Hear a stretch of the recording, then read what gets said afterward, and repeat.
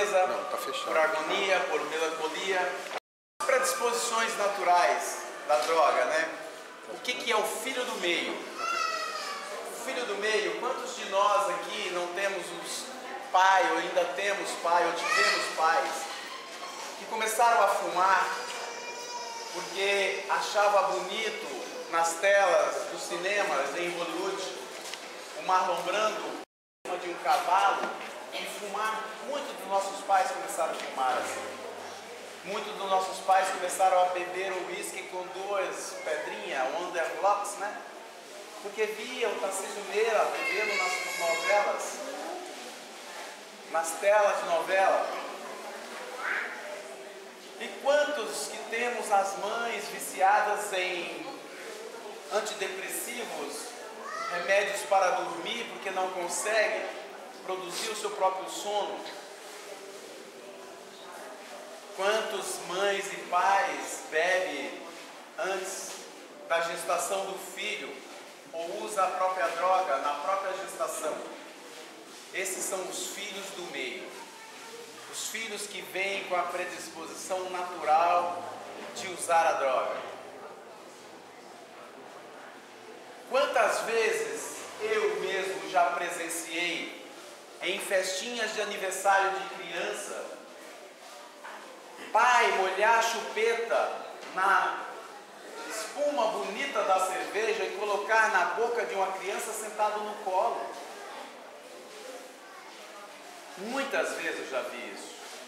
E muitas aqui podem ter visto.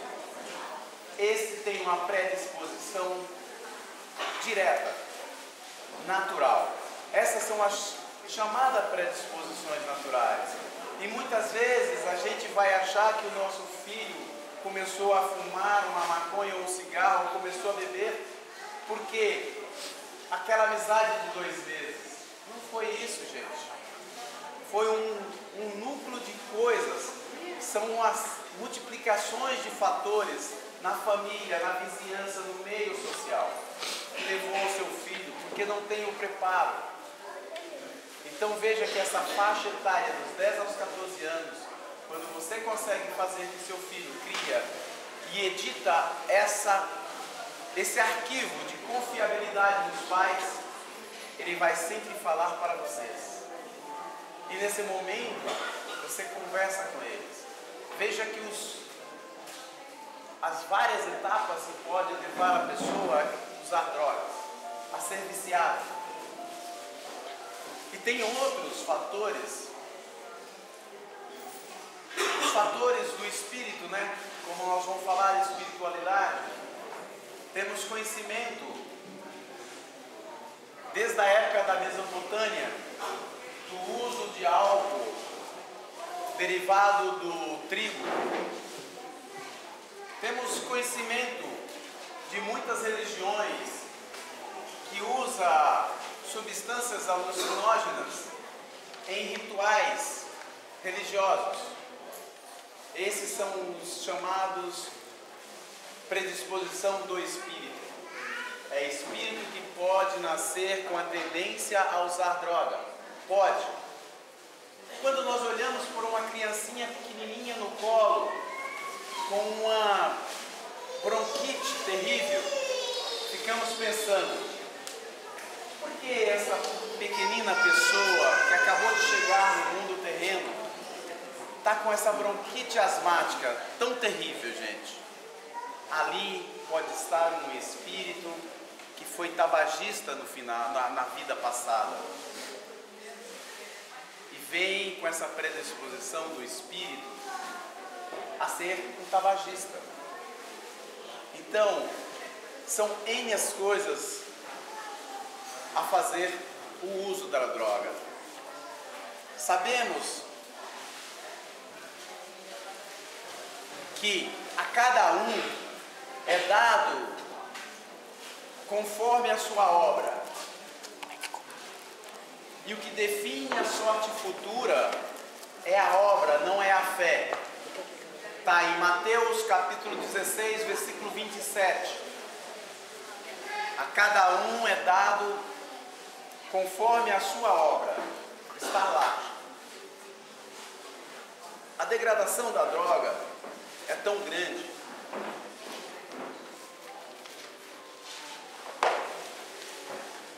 e muitos se enganam. Muitos se enganam, fala assim: eu uso, mas eu sou mais forte do que ele. É um duro engano. Porque o nosso corpo é todo físico e espiritual.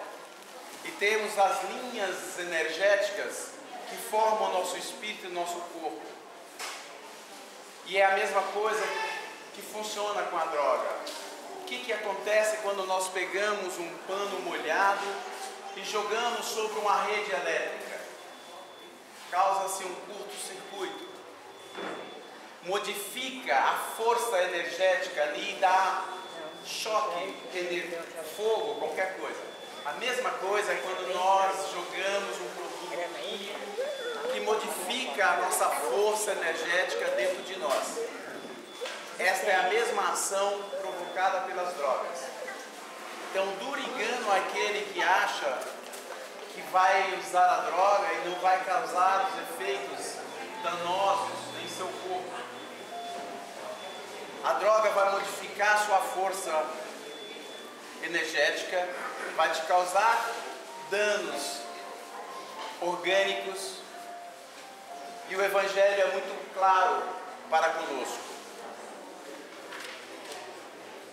No Evangelho diz assim Jesus: Cuidai do seu corpo e do seu espírito enquanto estiver na terra.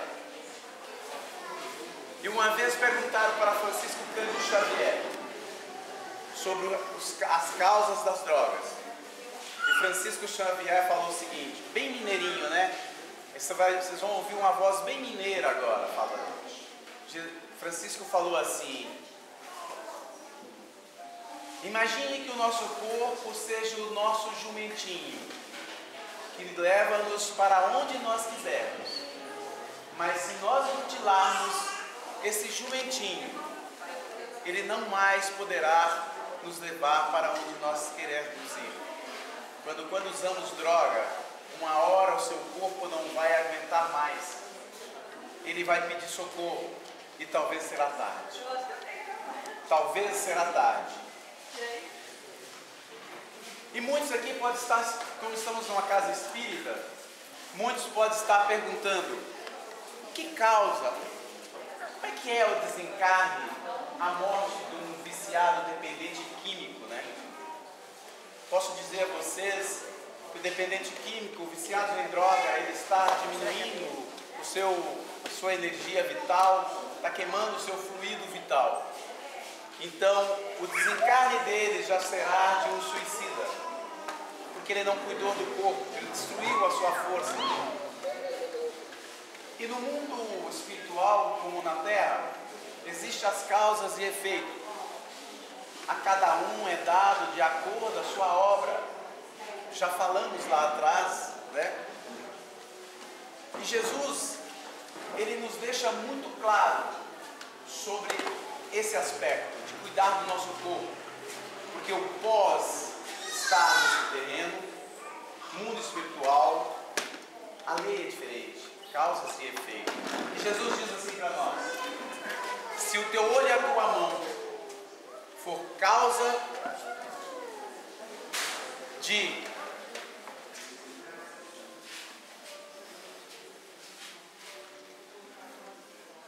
motivo de escândalo, se o seu olho e sua mão for motivo de escândalo, arranca-os e joga fora.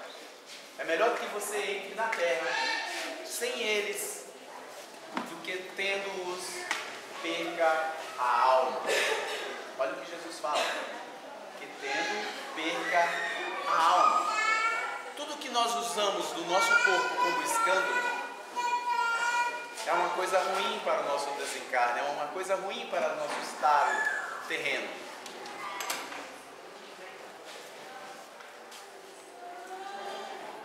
Por que as pessoas usam droga? Estamos falando de droga e de vício. Por que as pessoas usam droga? O que acontece? Uma coisa simples. A, a droga, ela trabalha numa área do cérebro, uma área de recompensa. E é nessa área que ela influencia de forma marcante.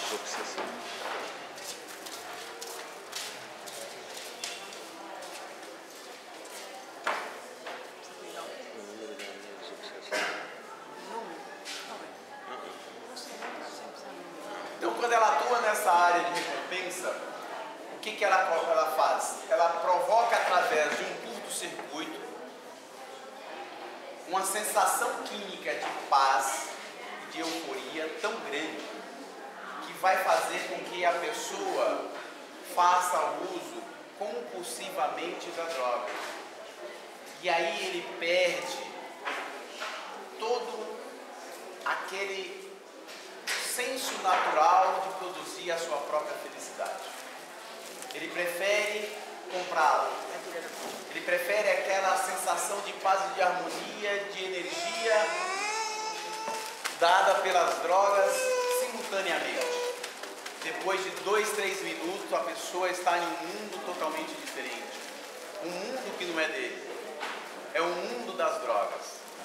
Então ela atua nessa área recompensa do cérebro, provocando, fazendo essa múltipla uso. E o que, que vai acontecer? Doenças orgânicas. Geocientificamente, atingindo o seu corpo físico, mas tendo reflexo no futuro do espírito.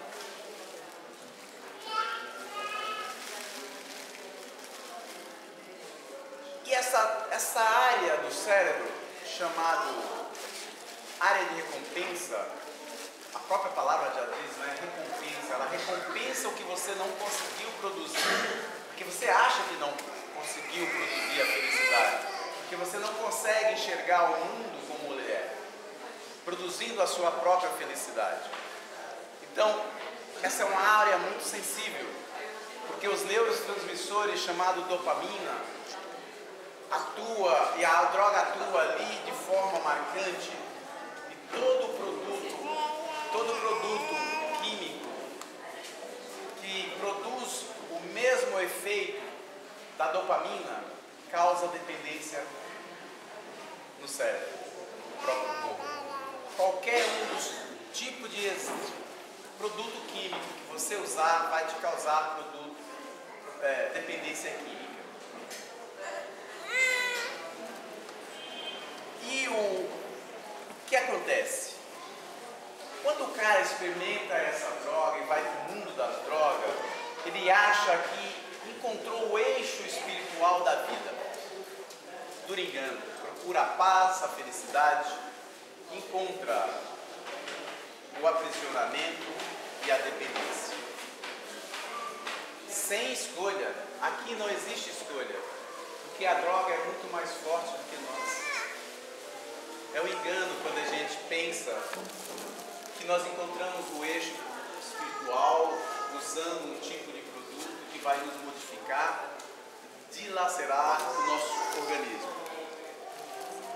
E muitas vezes tem gente que usa a sua maconhinha em casa, né? Debaixo, debaixo do arado, frente a uma cachoeira, dá uma cafungadinha na cocaína na sua casa sozinha e diz para nós assim: Ah, é o meu vício. O seu vício. Cuidado. Cuidado com o vício, que é só seu. Porque o traficante vive da destruição da família alheia. O traficante vive da desgraça da vida alheia. E quando você fuma um cigarro, sendo de fumo, de maconha ou dá uma cafungada, você está apontando a arma para alguém. E você é parte direta da violência e da degradação que a droga provoca nas famílias. Muitos vão dizer, ah, é o meu vício. Não, não é o seu vício.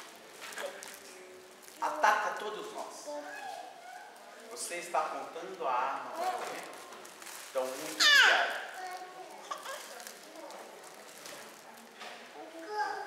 E aqui voltando mais para o espírito, né?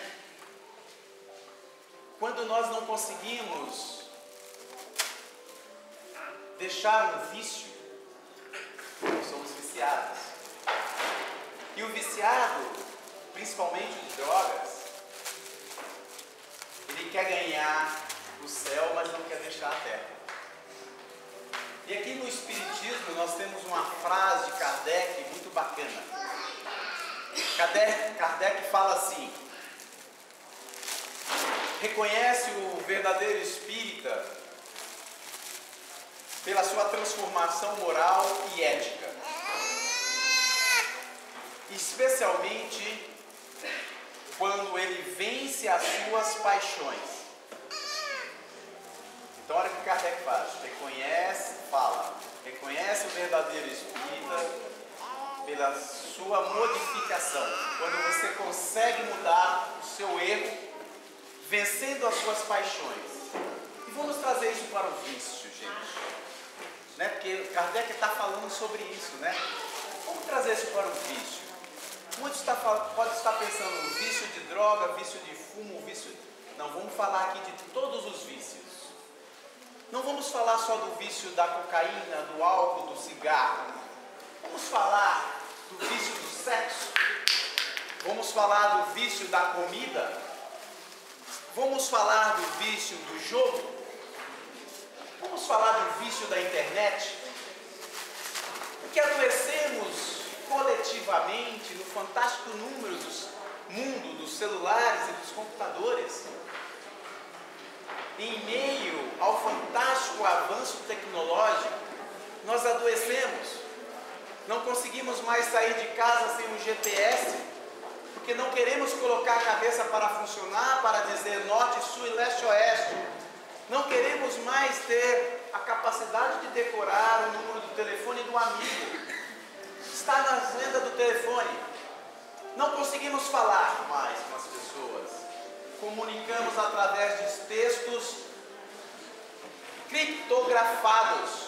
Abraço é só A, B, E, A, B, C, C cedilha. Né? Como está? CM, T. Viciamos no mundo fantástico dos celulares. É vício. Mas é uma tecnologia para o bem. Mas nós modificamos ela como o barbitúrico e afetaminas é um, uma droga para o bem, mas nós modificamos ela, nós levamos para o nosso mundo. Então nós temos que modificar, e é isso que Kardec fala. Se reconhece o verdadeiro espírita quando ele consegue vencer as suas paixões. O tratamento de um viciado, gente, Vamos voltar para o mundo das drogas. O tratamento do viciado é complicado. Muitas vezes não funciona. Muitas vezes. Porque falta o amor. E o que, que acontece?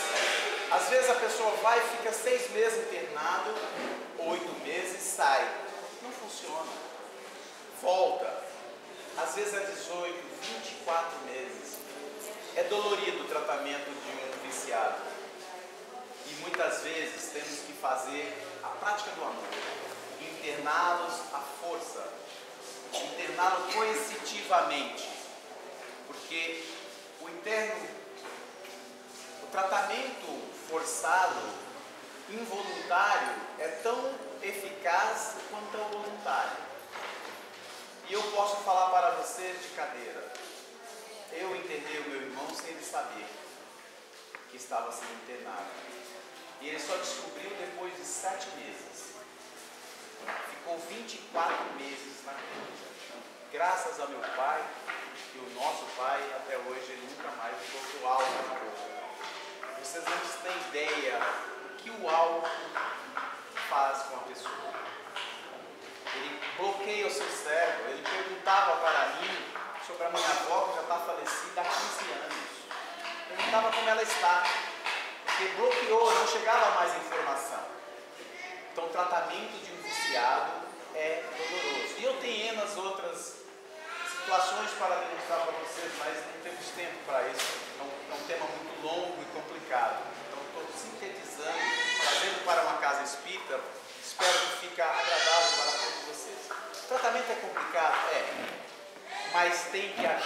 E às vezes esse internar a força é o grande amor que você está praticando.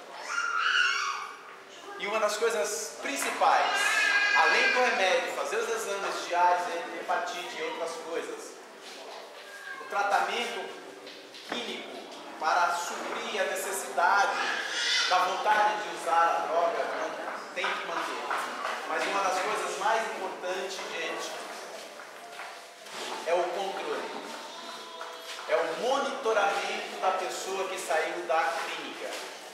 E sempre com boas palavras, a parabenizando por mais um dia vencido. Parabenizando porque ele está conseguindo. E muitas às vezes vai ter recaídas. E essas recaídas causam desesperos em viciados e terapeutas. Mas deve ser olhado como uma de editar a sua, sua janela de depressão, de reeditar aquele arquivo que falta, que nunca foi reeditado em sua vida.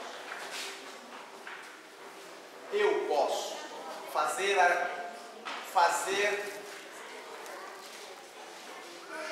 o gerenciamento do seu eu, fazer o controle, fazer a mesa redonda do seu eu. Às vezes é isso que a pessoa precisa fazer. Gente, eu posso e ele conversar com ele mesmo.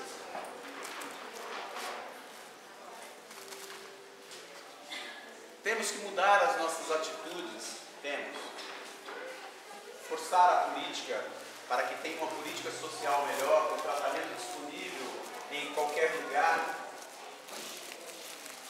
Temos que modificar o nosso modo de pensar, aqueles que estão atrás das grades, cuidando dos seus filhos aqui na rua, dando uma oportunidade real de vida social. Temos que fazer a nossa parte, porque a droga faz parte da nossa vida hoje. Infelizmente, ela faz direto ou indiretamente ela faz parte de nós. Então nós temos que fazer a nossa parte. As religiões têm feito muitas coisas. As religiões têm atuado, em alguns têm, têm clínicas de tratamento. No Espiritismo nós temos, nós tra trabalhamos dos dois lados da vida, né? Nos encarnados nós temos a reunião familiar, o diálogo fraterno, indicando, tratando aquele papo amigo, né? os passos políticos terápicos. E na desobsessão nós temos o tratamento do outro lado da vida, que é muito importante esse tratamento espiritual junto com o terapêutico. E no tratamento espiritual da desobsessão, o que, que nós fazemos? Nós tratamos o ser espiritual do outro lado, percebe que ele também está sendo auxiliado. E esse auxílio é tão importante que haja, nesse, nesse tratamento, vai provocar uma ação que vai fazer que haja a separação dos dois, o deslocamento dos a desarmonia, né? aquele espírito ruim que encosta perto do viciado, forçando a ele fazer uso, vai fazer com que se separe, vai afastar isso. E eles vão ser tratados mutuamente e vão descobrir que são, também estão sendo tratados, fazendo o tratamento dos dois e o progresso de ambos. Isso é muito importante.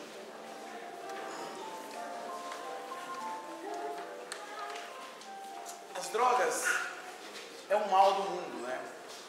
Eu nunca vi um viciado feliz. Eu já vi o troféu amargo que as drogas presenteiam à sociedade.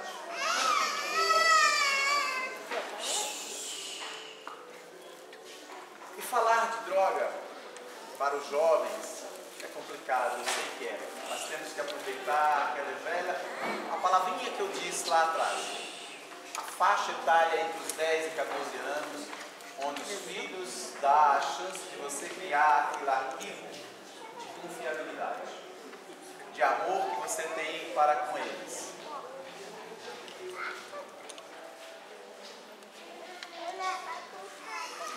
E podemos falar de droga, a gente podia falar o dia inteiro, falar de experiências, de sensações, da, que provoca para o jovem, para as crianças, para as famílias no geral. Né?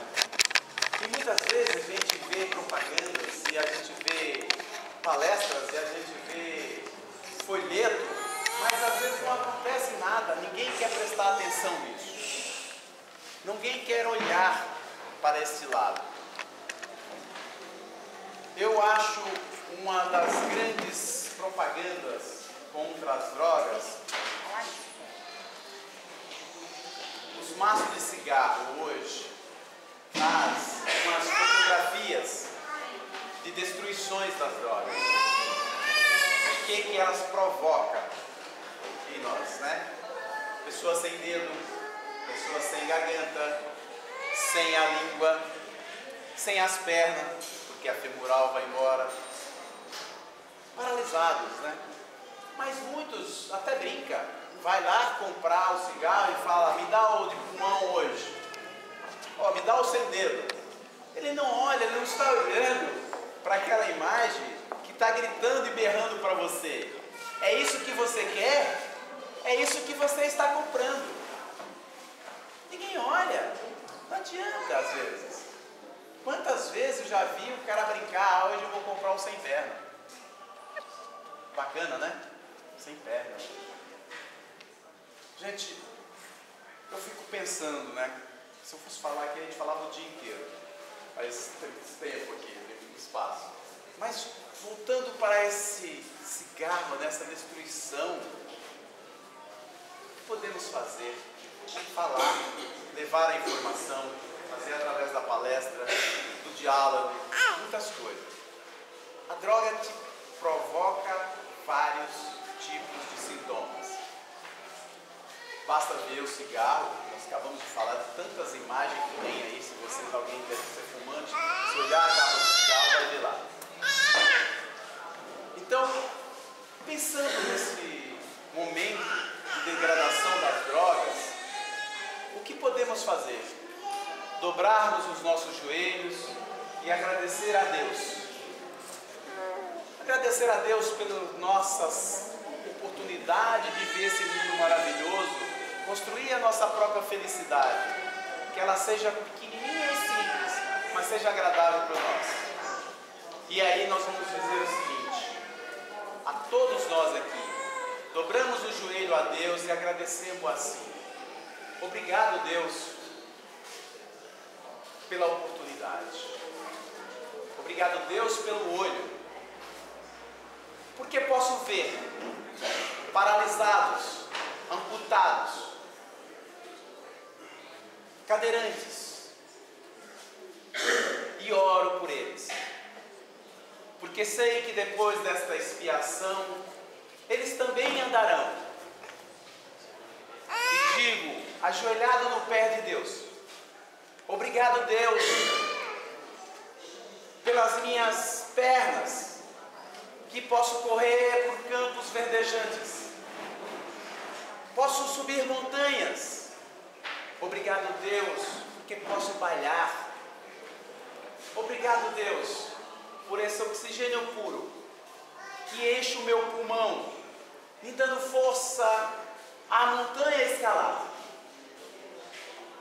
Obrigado, Deus, por estas mãos que posso a ferida do enfermo lavar, a curar.